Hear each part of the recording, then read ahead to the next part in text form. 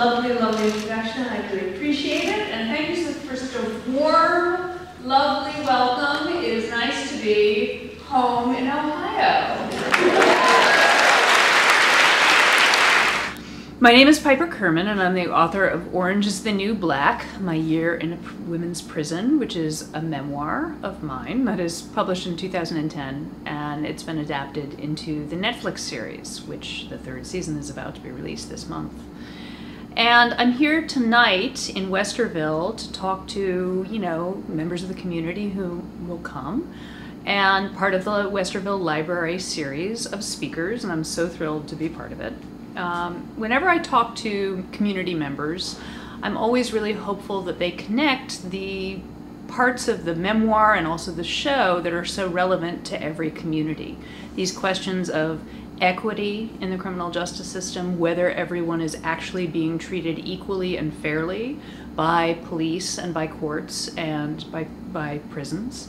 And I, I always hope that folks in the community really question whether our current situation with prisons and jails is really serving the community's best interest.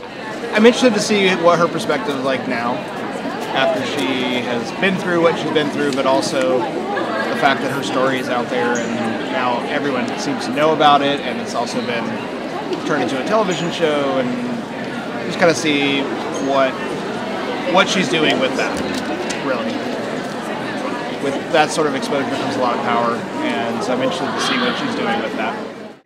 Um, the process of adaptation has been a fascinating one for me.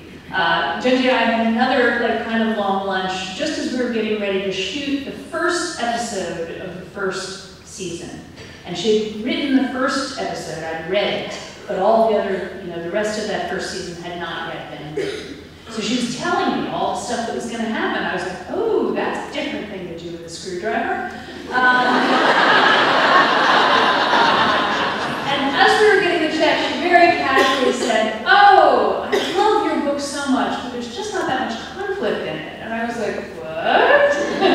so people asked me, you wrote a book, you wrote a memoir about the stupidest, most immoral thing you ever did, and the consequences for yourself and others for that choice. Um, and then it got turned into this TV show, which was sort of popular.